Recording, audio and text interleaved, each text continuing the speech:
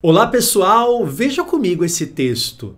Depois que o espírito do Senhor se retirou de Saul, um espírito mau vindo da parte do Senhor o atormentava.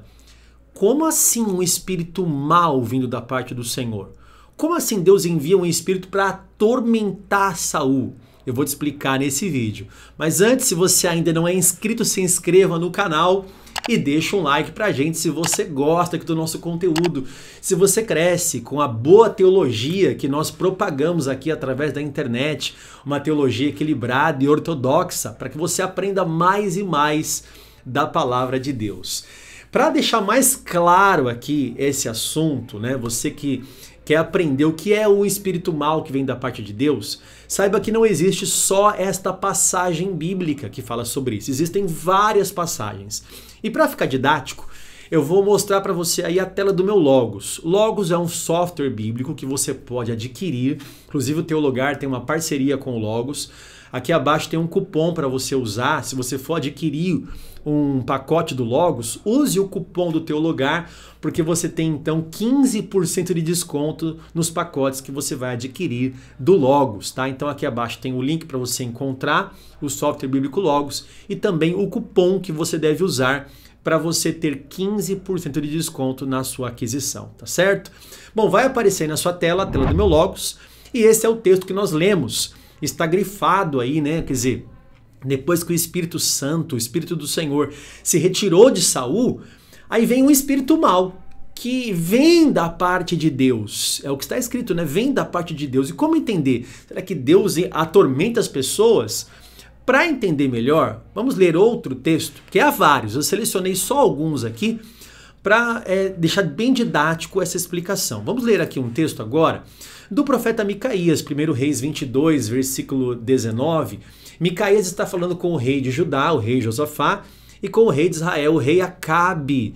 E Acabe está perguntando o que, que vai acontecer com ele, se ele deve ir para a guerra ou não, mas ele não quer ouvir um profeta verdadeiro. Ele quer ouvir só os falsos profetas. Então, só estou contextualizando para você aqui, né? Então, Micaías ele diz o seguinte: Olha, ouça a palavra do Senhor. Eu vi o Senhor assentado no seu trono e todo o exército do céu estava junto dele, à sua direita e à sua esquerda. Micaías tem uma visão celestial e ele vê no céu um exército de seres que estão ao lado de Deus, à direita e à esquerda. Versículo 20. Então o Senhor perguntou: Quem enganará Acabe para que vá e seja morto em Ramote Gileade? Então parece que está acontecendo uma reunião no céu e Deus faz uma pergunta para esses espíritos, para esses seres que estão ali. Ele diz: é, quem, quem enganará Acabe? É Deus perguntando isso. Olha que coisa interessante. E um dizia uma coisa e outro dizia outra coisa. É, essa reunião assim no céu parece que já aconteceu também com Jó, né? Quando é, Satanás estava passeando pela terra, rodeando a terra, e Deus conversa com ele ali. Olha, olha o meu servo Jó, olha o meu servo Jó, homem temente a Deus, reto, se desvia do mal, né? E ali a reunião dos filhos de Deus, dos Benei Ha-Elohim, dos filhos de Deus que estão ali ao redor do Senhor, e aparece também Satanás. Veja que é algo que acontece nas escrituras, as escrituras mostram isso, né? Então, olha o que acontece no versículo 20: um dizia uma coisa e outro dizia outra. No versículo 21, então um espírito saiu, se apresentou diante do Senhor e disse: Eu o enganarei. O Senhor perguntou: Como? Como se Deus não soubesse de todas as coisas, né? Mas Deus faz a pergunta: Como? Como é que você vai enganar Acabe? Porque Deus de alguma forma quer cumprir os seus propósitos e quer então punir Acabe pela sua rebeldia. Então, como é que você vai enganar Acabe? Ele respondeu: Sairei e serei um espírito mentiroso na boca de todos os profetas do rei. Então, esse espírito que está ali nessa reunião, ao lado de Deus, que é um espírito mentiroso, esse espírito mentiroso, ele fala: Eu vou ser a mentira, eu vou influenciar os falsos profetas do rei Acabe Eles vão falar coisas boas para Acabe, para Acabe ir para a guerra e morrer na guerra. Eu vou enganar Acabe através dos profetas que ele quer ouvir, que são os falsos profetas. Já que Acabe não quer ouvir Micaías, ele só quer ouvir aos falsos profetas, eu vou usar eles. Esses profetas que não têm parte com, com o Senhor. Olha que interessante. Então o Senhor disse: Você conseguirá, conseguirá enganá-lo. Vá e faça assim. Esse vá e faça assim não quer dizer que Deus colocou ali, que Deus enviou ali esse, esse espírito, mas que Deus permitiu aquilo que o espírito já estava proposto a fazer, porque o espírito já está ali para atormentar. Assim como Saul, provavelmente ali o espírito já queria atormentar Saul. O que Deus fez então? Deus apenas permitiu. Deus falou: "Então vá. Você vai conseguir e no final das contas, todos os meus propósitos serão alcançados. Vá lá e Deus então não é que Deus envia, não é que vem da parte de Deus como se Deus fosse lá e colocasse. É Deus apenas permite que isso aconteça. Então vá e faça assim.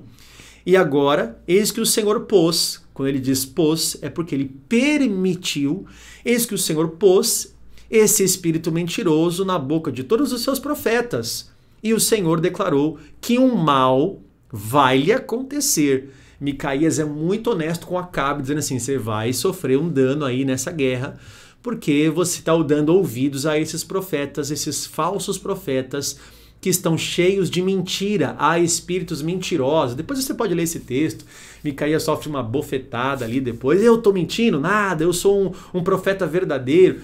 É um texto muito legal para mostrar o que, que nós percebemos aqui que existe uma permissão de Deus. Deus permite.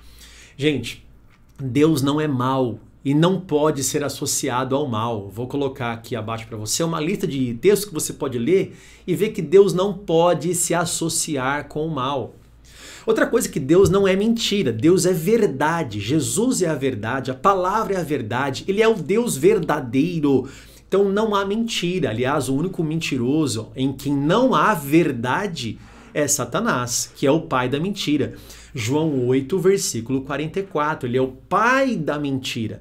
Então, esse espírito mentiroso, na verdade, é um espírito demoníaco em que Deus permitiu que esse espírito fosse enganar aos falsos profetas e, consequentemente, enganar a Acabe também.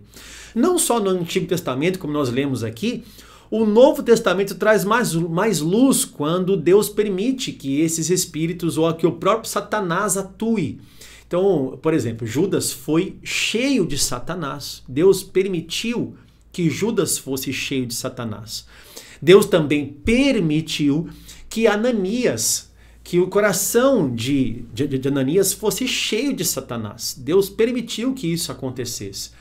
Mas um texto assim muito interessante que você pode lembrar é sobre as legiões que estavam num endemoniado.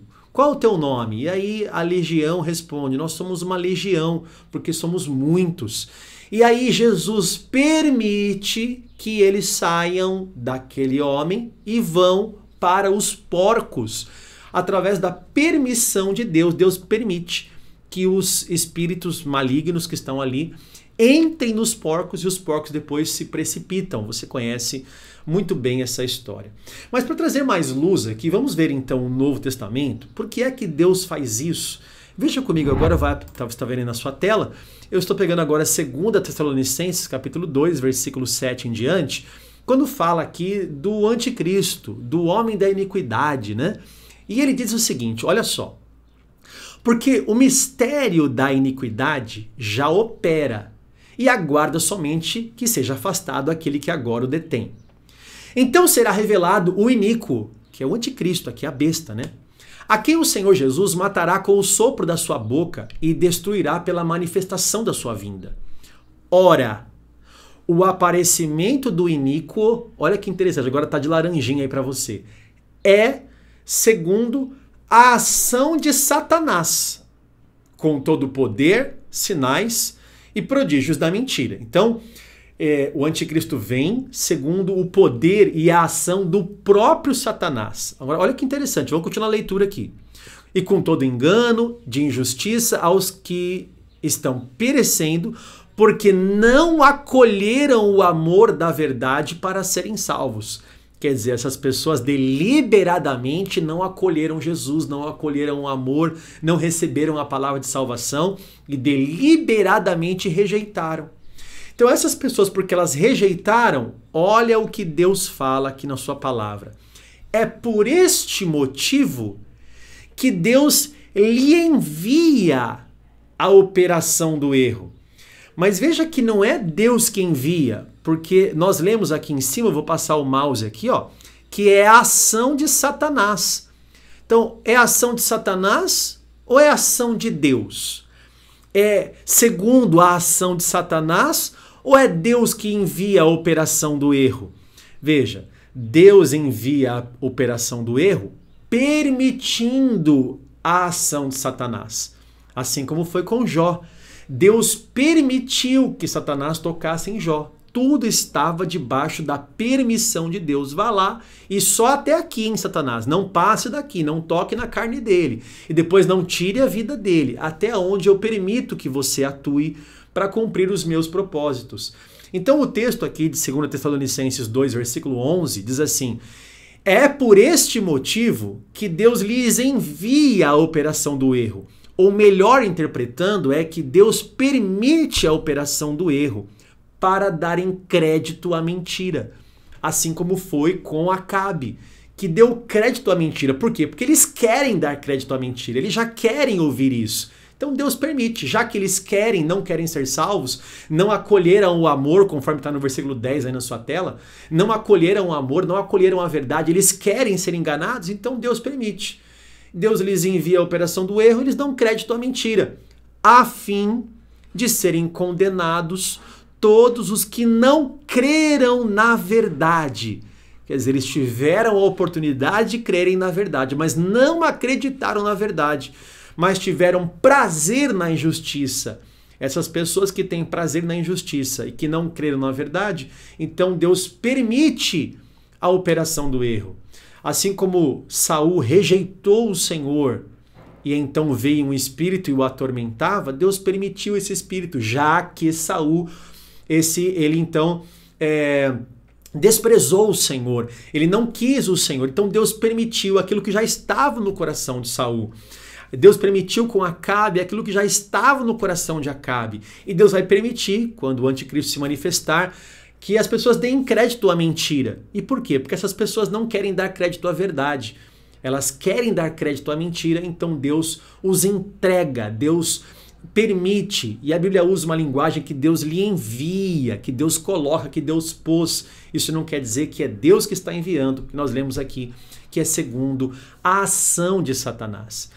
Esse negócio de Deus entregar as pessoas é, é como se Deus deixasse as pessoas com seu, sua liberdade de escolha. Por que, que Deus faz isso, professor? Para cumprir seus propósitos, para executar seus juízos e para preservar a liberdade das pessoas que estão livres para servir a Deus ou não. Para finalizar, veja comigo esse texto. Eu vou colocar aqui para você um texto famoso também de Romanos capítulo 1, o texto que fala sobre homossexualidade, o texto que fala de idolatria a si mesmo, pessoas que não adoram mais ao Criador, mas adoram a criatura. Romanos 1, 24 diz assim: Por isso, Deus os entregou à impureza pelos desejos do coração deles. Veja, quando diz assim, Deus os entregou à impureza, não quer dizer que Deus os colocou no pecado. Não quer dizer que Deus os colocou para pecar. A Deus pega você e te coloca na impureza. Não, não é isso. Quando a Bíblia fala Deus os entregou à impureza, é que Deus permitiu, porque, está no mesmo versículo, pelos desejos do coração deles. Ora, é isso que está no teu coração? É esse desejo? Então eu permito, eu os entrego à impureza, eu permito que vocês vão à impureza. Para desonrarem o corpo entre si, eles trocaram a verdade de Deus pela mentira. Quer dizer, eles tinham a oportunidade de ter a verdade, mas quiseram a mentira.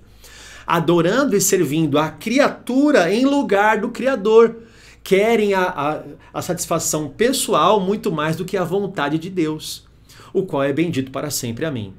Por causa disso, Deus os entregou a paixões vergonhosas.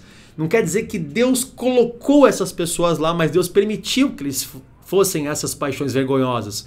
Porque até as mulheres trocaram o modo natural das suas relações íntimas por outro, contrário à natureza. Da mesma forma, também os homens, deixando o contato natural da mulher, se inflamaram mutuamente em sua sensualidade, cometendo indecência, homens com homens, e recebendo em si mesmos a merecida punição do seu erro. Por que eles são punidos pelo erro? Porque eles desejaram esse erro, adoraram a criatura muito mais do que ao Criador. E por haverem desprezado o conhecimento de Deus, aqui fica muito bem explicado, e por haverem desprezado o conhecimento de Deus, o próprio Deus os entregou. Quer dizer, permitiu, os entregou a um modo de pensar reprovável para praticarem coisas que não convêm. Quer dizer, porque eles desprezaram o conhecimento de Deus, Deus então permite, os entrega a essas paixões vergonhosas, os entrega à impureza pelos desejos do coração deles.